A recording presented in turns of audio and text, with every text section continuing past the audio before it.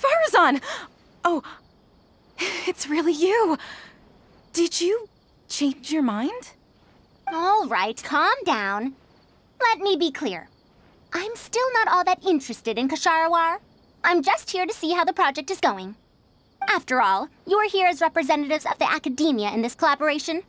The reputation of all research is at stake here, so I will not simply stand by should mistakes get made. Either way, it's good that you were willing to come. Now, we've given Akara Crafts many ideas over the past couple of days.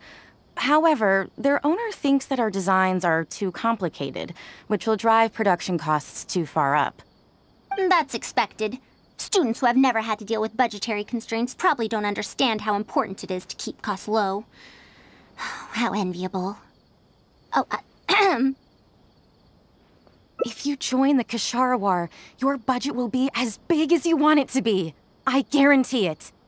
That's enough. I will not repeat myself. Take me to a Akara Crafts owner first, if you please. All right. He's usually at the slope up ahead recruiting volunteers to test out his toys. Let's just head over.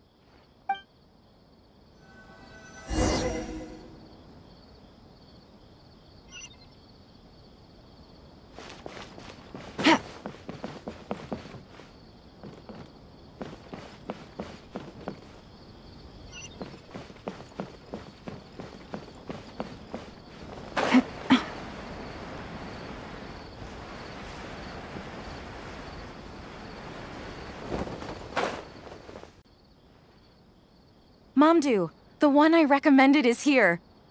Oh, uh, so you're, uh, Madame Faruzan? Yes, that's me. Ah, wonderful. We haven't been able to make any progress on our collaboration recently. We've made many suggestions, but Miss Anis thought that those ideas were too simple and wouldn't be effective in training the mind. These early learning toys are meant to help the academia train future researchers, after all. If they're too simple, then how are they any different from regular toys? But if they're too complicated, not only will they be expensive to produce considering our production capabilities, but they won't have much broad appeal to Sumeru's children either. So the design can't be too complicated, but it can't be too easy to play with either. Hmm. I remember that in your notes, many contraptions have managed to fulfill complex functions despite using simple parts. Maybe we can do something similar with these early learning toys. The contraptions in my notes. I didn't create those. I simply took the contraptions in the ruins apart and analyzed them. But now that you mention it, the ruins did have things like that. Do you have a pen, paper, and scissors? I'll make a paper prototype. You have an idea already? I suppose I should have expected as much of a respected academia senior researcher. We do have those. Yes, please, help yourself. Oh, you're done already?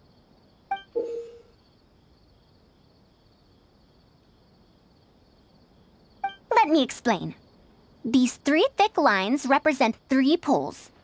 These paper strips of varying lengths represent rings of different sizes.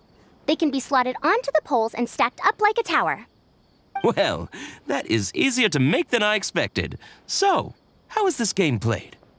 That's very simple as well. You just need to shift the tower from this pole to another pole. Um, isn't this a little too simple? Uh, even by the standards of an early learning toy, I mean.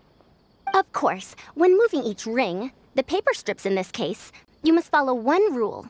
You can only move one ring at a time, and you can't place a bigger ring on top of a smaller one. It's like building a tower.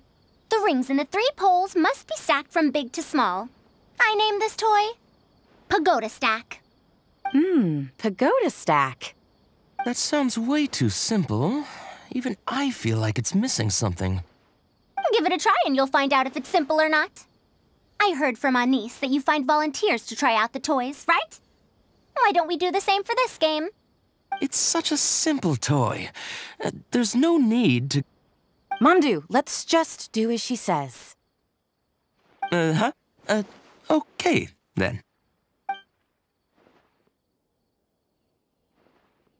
And that's how you play this game. You can all give it a try. Let's see who's able to move the tower to another pole in the smallest number of steps. You called everyone here for such a simple toy? It doesn't look like it'll take that many steps. Come on, we all promised to help Mr. Mamdu test out the new toys. He said he'd give us new Genius Invocation TCG cards. Ugh, fine. Let's get this over and done with so we can head back and play cards.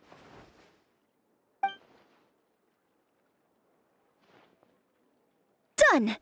It took me 19 steps. Huh? It took me over 20 steps.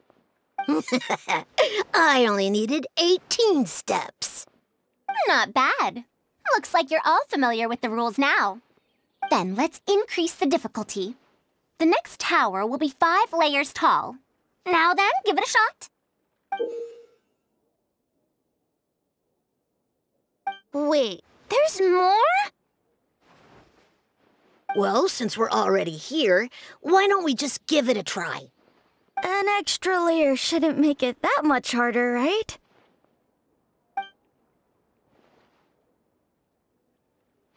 What's going on? I've already moved over 30 steps, but I'm still not done yet. I'm almost done. Looks like I'm the faster one this time. Done! It took me 35 steps. What? How? This pagoda stack toy is pretty fun to play with. Good. We'll try it one final time. This time, we'll add two more layers, making seven layers in total. Mamdu, we've still got quite a few paper strips here. Why don't you give this a go as well? Do you need that many steps for something this simple? Let me try. Madam Faruzan, allow me to try it as well. You were looking at it quite seriously just now. Are you starting to understand the principles involved? I think so. If you want to test out your hypothesis, you'll just have to play and find out. Got it. Ah, we don't have enough paper strips left for you, Traveler. However, by the looks of things, you seem to have the game figured out.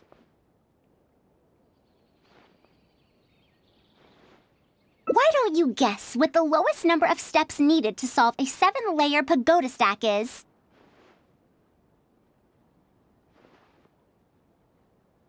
What a shame. You were close. However, you did well for someone seeing pagoda stack for the first time. Let's see how well they do then. If I move this small ring, then the big one won't be able to go on top of it. Oh, this is going to take more steps than I expected. I... I've lost count of how many steps I've taken. Can I restart? This got a lot harder. Hmm. I solved it! Madam Faruzan, it takes 127 steps in total. That many? Uh, But there are only seven layers. For every extra layer in the pagoda stack, the move order you need to consider becomes much more complex, and the number of steps required will at least double. More accurately, it will require double the steps, plus one each time. You did well.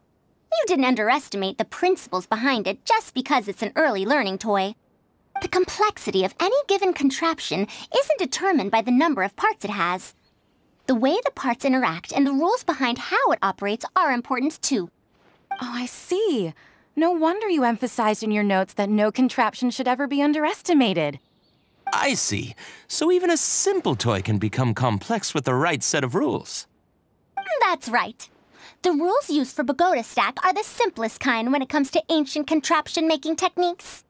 I could spend some time picking out all those machines that do something similar and write you a reference book. Once that happens, you can give the volunteers the reference book and paper prototypes and find out which toy is the most popular. Do you have any other toys? Yeah, when can we play with them? Uh, in about two days or so, I think. Anise, if you're free, can you help me with the illustrations for the reference book? Of course. I'd be honored. Two days should be enough for us to find more volunteers. Then we can organize a huge conference here, at which we can announce which toy we'll be making. You'd be most welcome. We need more people to get a healthy range of opinions. The more, the merrier. Thank you for coming here with me today. I'll walk back with you.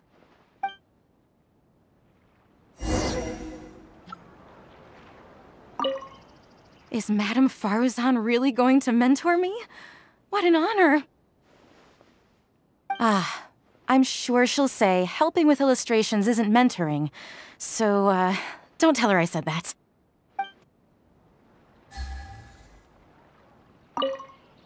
No wonder she's so well respected at the academia. When I first saw her, I thought she might be unreliable because she's so young. Uh, don't let her know I said that. Anise warned me about that before.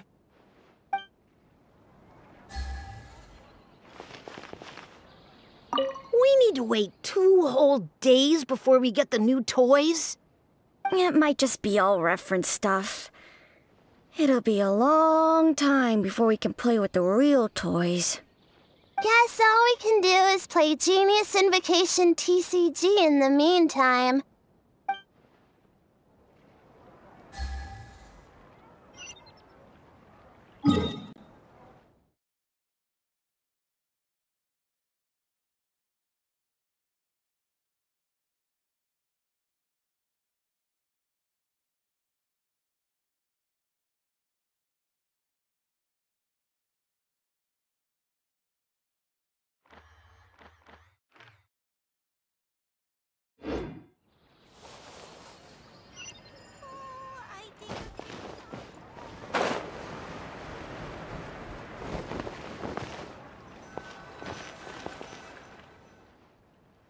Be going then. Say hi to Tighnari and Collei for me if you can. Once everything here is settled, I'll make my way over to Pardis Dhyai as quickly as I can. You want to ask why I'm unwilling to join them, yes?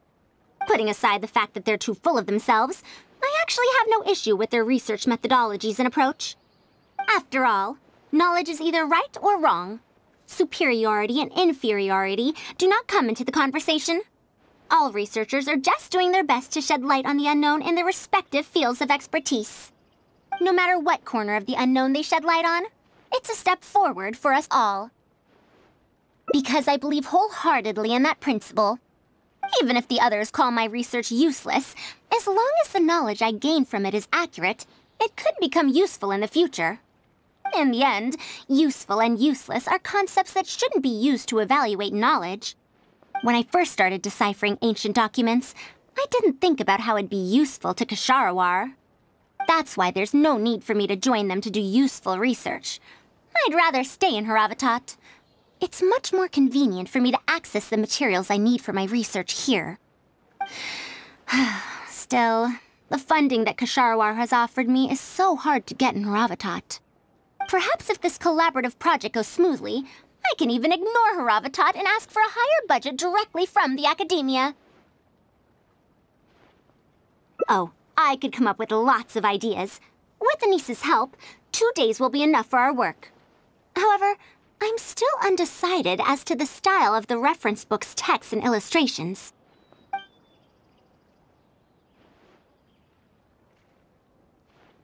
You're right.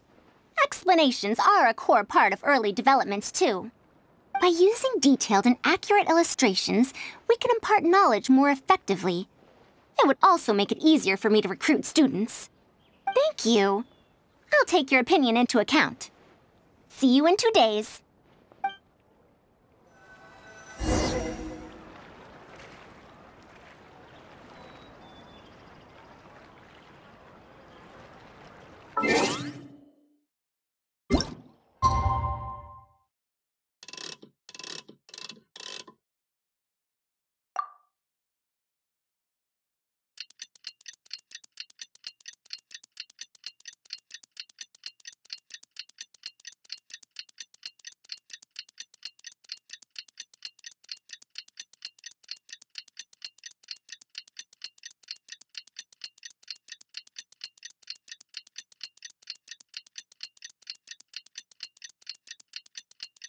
We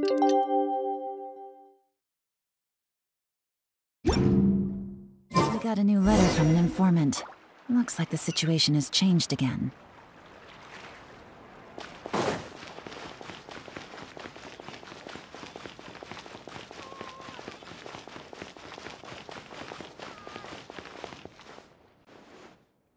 Oh, you're here. We're just starting to set up the venue. We've called up everyone we possibly could have. This is going to be quite the event.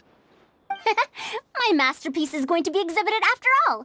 Let's see what the Academia shall say about it this time. To sum up, the 24 forms of pressure-based puzzle mechanisms were used in various ruins. All right, let's go to the next page. Now, I'll explain the base layer design of elemental monuments. Are we done yet? Oh, I'm falling asleep. I don't understand any of it at all.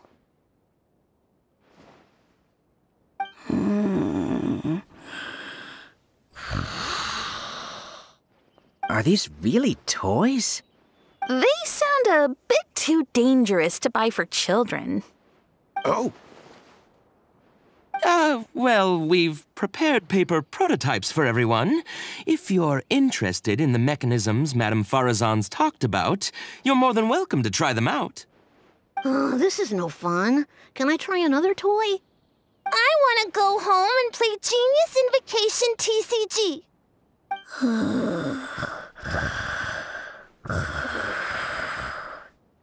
Forget it.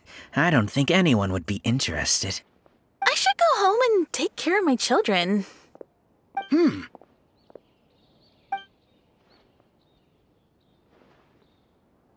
Uh, how did this happen? Uh, Forget about getting opinions from others. No one even wanted to stay and try them out. I'm sorry. I think we miscalculated. No, you simply gave suggestions. I was the one who decided to follow through. Anise, too, uh, was only following my instructions. I will find a way to make up for this error. Please, give me some time. I'll write another reference book. excuse me, but are you the one who wrote this reference book? Uh, yes. Who are you? Ah, you're that man mountain who was in the crowd just now. Do I stand out that much?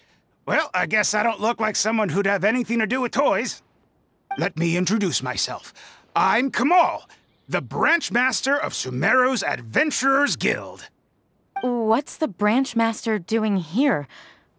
Were you looking for us, or did something happen? I came to Port Ormos to visit some old friends. On the way over, I saw the booklet you were handing out, so I came to take a look. Can you print a few more copies of this booklet and sell them to the Adventurers Guild? Also, could you make full-fledged models of those paper prototypes and sell them to us as well? What does the Adventurers Guild want with these toys? You may see them as toys, but to adventurers who need to deal with all sorts of machines and contraptions within ancient ruins, this booklet is a true treasure. We have many members who can't read, so books are of little use to them. What they know of handling mechanisms has been learned solely through word of mouth. Even if the academia granted public access to all their books, there are people who can't use them. Ah, and our booklet is practically all pictures. Well, it is designed for children. Hmm, It might be a bit too difficult for children, but it's perfect for adventurers. Also, uh, those paper strips, you called them paper prototypes? If you can make wooden versions for demonstration purposes, even the most illiterate person would be able to follow along and understand. If we can supply a model set for each branch, and if each adventurer carries a booklet with them, then ruin exploration will become much safer. You really think so? I mean, yes, yes. I always knew it. Knowledge will always be needed, one way or another. Making models of contraptions for the Adventurers Guild? To be honest, that sounds like a good avenue to explore to me. Uh, we'll probably have to send in a separate application, but it shouldn't be an issue. After all, this concerns safety during the exploration of ruins. It's a problem that the Academia is actually trying to address as well. Then let's cut to the chase and discuss the details of our first order. the amount we're offering to pay in advance is... this much.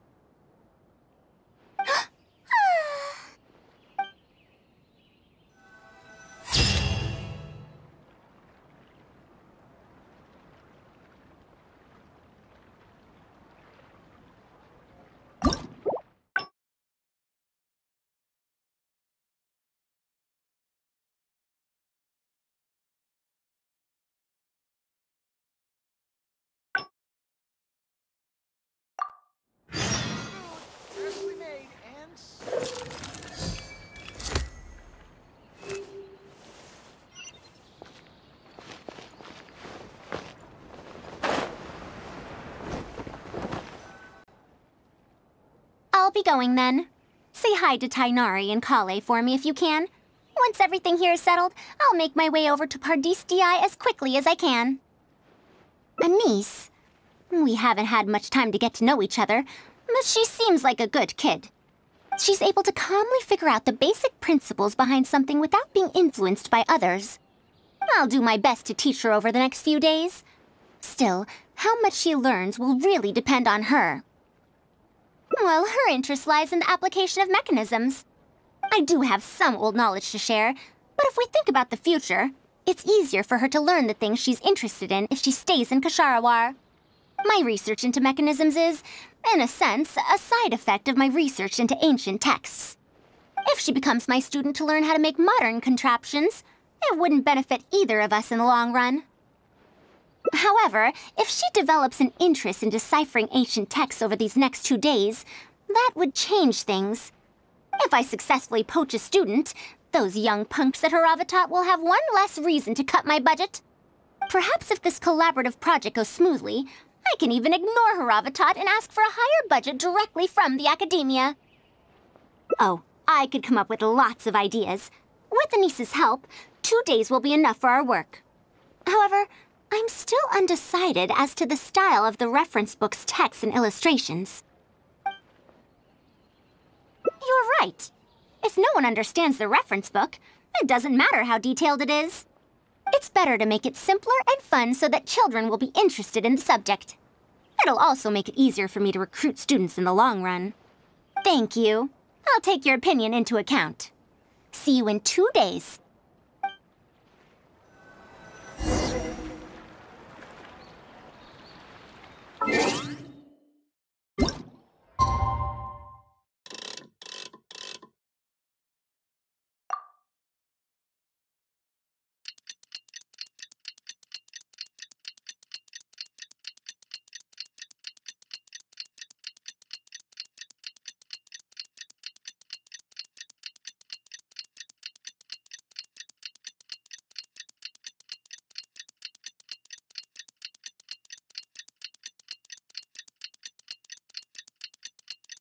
Good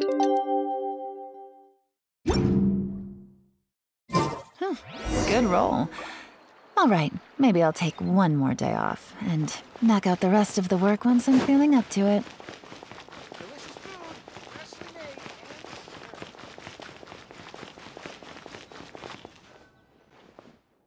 Oh, you're here. We're just starting to set up the venue. We've called up everyone we possibly could have. This is going to be quite the event. My masterpiece is going to be exhibited after all. Let's see what the Academia shall say about it this time. And if we activate this little mechanism just like that, a Sumeru rose will appear at the top of the cane. oh, I see. I thought it came out of thin air. It's amazing. If the mechanism was bigger, you could make a rabbit appear, right? Then you can't use a cane. Could you switch it out with a hat or something? You're applying what you learned creatively. Not bad. Let's look at the next page. If you fold an origami bird like this, it'll fly further and more stably. Whoa. You can make a mechanism using just a piece of paper? the principles at play are even more important than the parts that make up a mechanism. These are pretty cool. I'm tempted to try them out. I'm not that interested in toys, but if they'll be beneficial for children's development. Everyone, we have paper prototypes and craft materials that you can use to make your own toys. Come try them out. This is such a well prepared event. I'll give it a go. But we want to play too! It's fine. We have a lot of paper prototypes and craft materials. All feedback is also welcomed.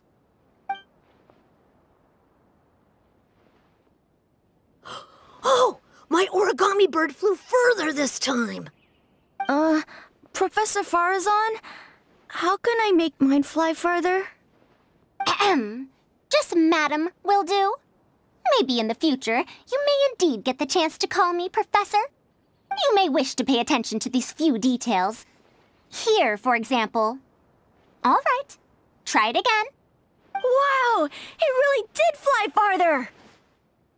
Madam Faruzan, will we learn origami at the Academia?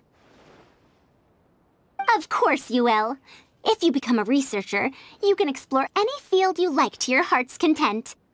In the future, if you want, you can even become one of my students. But Mom and Dad said that there are six Darshans in the Academia. Wait, was it seven? Which Darshan teaches about mechanisms in origami? Well, uh, in this case, it wouldn't be Haravatat. I know. We need to choose Kshahrewar. Huh? I want to attend Kshahrewar in the future and fold even better origami birds. Uh, I want to make even more awesome mechanisms! Actually, the other Darshans do have their own specialties, too.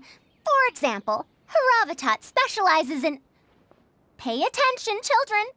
Ch children? How did this happen?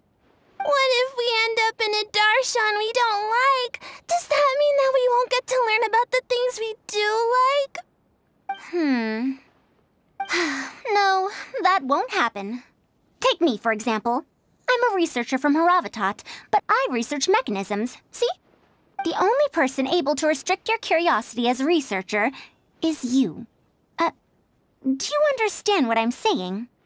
Um, not really. Huh. It's all right. You still have a long road ahead of you. Now, do you want to learn about some other machines? Let me tell you a story about pressure-based mechanisms and elemental monuments.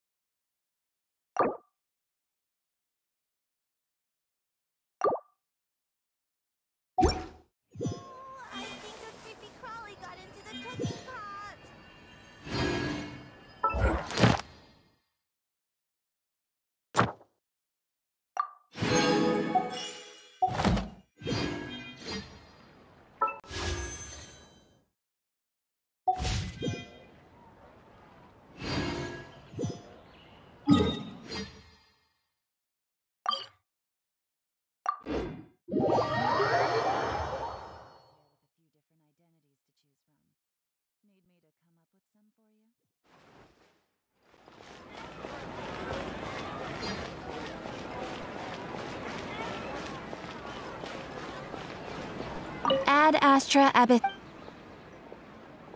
Thank you for completing today's commissions. Here is your reward.